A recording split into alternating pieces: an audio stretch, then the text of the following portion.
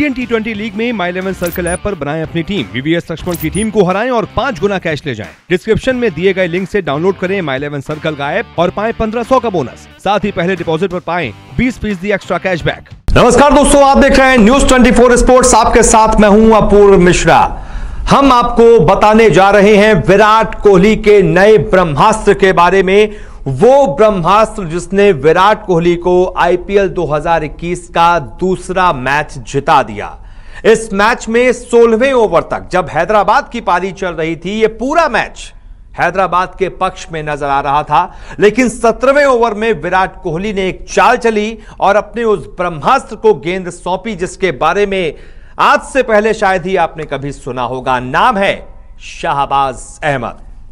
इस कमाल के गेंदबाज ने कमाल का ओवर निकाला। उस ओवर में तीन तीन विकेट लिए। जॉनी बेरस्टो को आउट किया। सेट मनीष पांडे को आउट किया। और उसके बाद लंबे लंबे छक्के लगाने वाले अब्दुल समद को आउट किया। और एक ही ओवर में मैच का पूरा पासा पलट दिया। और आरसीबी ये मैच छह रनों से जीत गई। जहाँ एक वक्त ऐसा लग रहा था कि मैच तो 18 या 19 ओवर में खत्म हो जाएगा, उस मैच को आरसीबी के पक्ष में डाल दिया। छह रनों से आरसीबी जीत गई। किसकी वजह से जीती? शाहबाज अहमद की वजह से। तो यही शाहबाज अहमद, विराट कोहली का नया ब्रह्मास्त्र है, जिसके बारे में शायद हैदराबाद को अंदाज़ा नहीं था।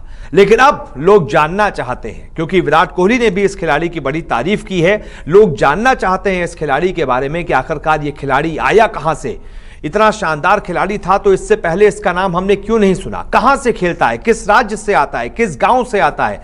सब कुछ अपने इस वीडियो में मैं आपको एक एक करके बताने जा रहा हूँ। मैं आपको मिलवाता हूँ विराट कोहली के नए ब्रह्मास्त्र से। सबसे पहले मैं आपको उसके बारे में यह बता दूँ कि यह जो खिलाड़ी है, ये मेवात का रहने वाला है और इसने हाल ही में एक इंटरव्यू दिया था जिसमें अपने क्रिकेट करियर से जुड़े हुए कई सारे राज इस खिलाड़ी ने खोले थे। क्या कुछ कहा था वो मैं आपको सबसे पहले बताता हूँ।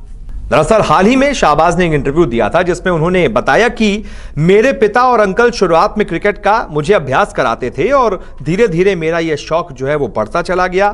मैं जिस जगह से आता हूँ, मेवात, वो एक बहुत छोटी सी जगह है। वहाँ से तो आज तक किसी ने एक रणजी मैच तक नहीं खेला। वहाँ से किसी खिलाड़ी का आईपीएल में खेलना पूरे ज़िले के लिए गर्व की बात है। शाहबाज के मुताबिक जब उन्होंने पहली बार क्रिकेट खेलने के लिए मैदान पर कदम बढ़ाए थे तो मैदान जहाँ पर वो अकेडमी थी उनकी, वहाँ पर उन्हें घुसने भी नहीं दिया गया था। लेकिन फिर वहाँ से ग्राउंड के मालिक और कोच जब वहाँ पर खेल रहे थे, शाहबाज वहाँ पर गए, उनके साथ खेलना शुरू किया। उसके बाद उनकी स्पिन गेंदबाजी उन्होंने देखी और आज शाहबाज अहमद आपके सामने है कि उन्होंने क्या कुछ कर दिखाया है। वर्ल्ड क्रिकेट में, आईपीएल में उन्होंने अपना नाम कैसे कमा लिया है। अब यहाँ तक की जर्नी, ये तो थी शाहबाज अहमद की हाल ही के इंटरव्यू की बात, जब उन्होंने बताया कि मैं मेवात, एक बहुत छोटे से ज़िले से आता हूँ, जहाँ से किसी एक भी खिलाड़ी ने रणजी ट्रॉफी तक नहीं खेली है, मैं वहाँ से निकलकर आईपीएल तक खेला हूँ। लेकिन आपको ये जानकर बड़ी हैरानी होगी कि हरियाणा की टीम से घरेलू क्रिकेट नहीं खेलते हैं शाहबाज अहमद, बल्कि बंगाल से खेलते हैं। तो ये बंगाल तक की कहानी क्या है? वो अब जानिए। अब मैं आपको बताने जा रहा हूँ कहाँ पैदा हुए, कैसे पले बढ़े, फिर क्रिकेट में उन्होंने क्या कुछ किया, जरा गौर से देखिए। तो आपको बता दें, शाहबाज हरियाणा के मेवात ज़िले के रहने वाले हैं। उनके पिता अहमद जान हरियाणा में एसडीएम के लीडर हैं।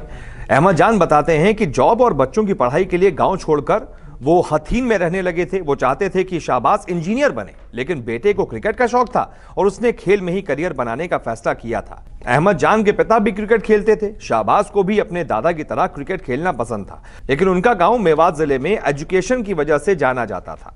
गाँव में कई इंजीनियर और डॉक्टर भी हैं। तो पिता चाहते थे कि शाहबाज इंजीनियर बने, इसलिए बारहवीं के बाद उनका एडमिशन फरीदाबाद स्थित मानव रचना यूनिवर्सिटी में सिविल इंजीनियरिंग में करा दिया गया।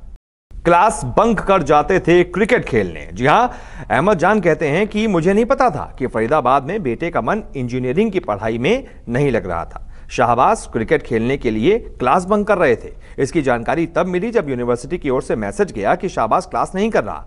तब मैंने शाहबाज से कहा कि वो पढ़ाई या क्रिकेट में किसी एक को चुने, लेकिन जो भी चुने उस पर फोकस करें। तब शाहबाज ने क्रिकेट को चुना और उसी पर फोकस करने की ठान ली, जिसके बाद वो बंगाल गए और उसके आगे की कहानी तो आपको पता ही है कि आज वो कितने बड़े क्रिकेटर हैं। हरियाणा में उनको चयन की उम्मीद जब कम दिख रही थी तो फिर हरियाणा को छोड़कर वो बंगाल की तरफ़ चले गए। बंगाल में शानदार खेल से उन्होंने बंगाल की टीम में अपनी जगह बनाई।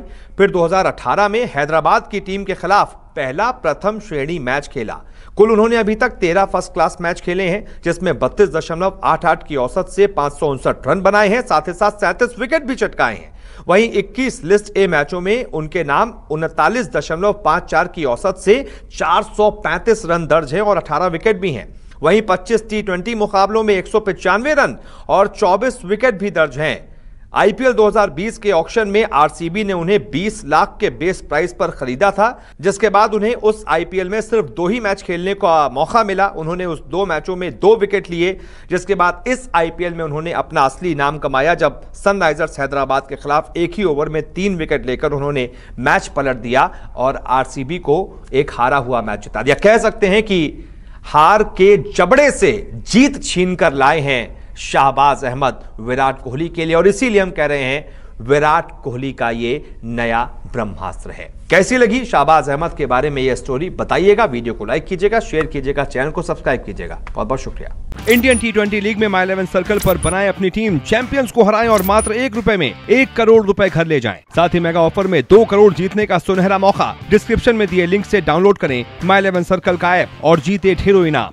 अगर हमारा ये वीडियो पसंद आया है तो इसे लाइक और शेयर ज़रूर कीजिए। और हाँ हमारे चैनल को सब्सक्राइब और फॉलो करना मत भूलिएगा।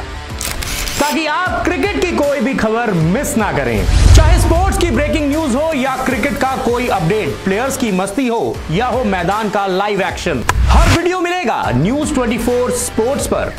हम कंट्रोवर्सीज भी मिस नहीं करते तो जुड़िए हमारे साथ और देखते रहिए न्यूज़ 24 स्पोर्ट्स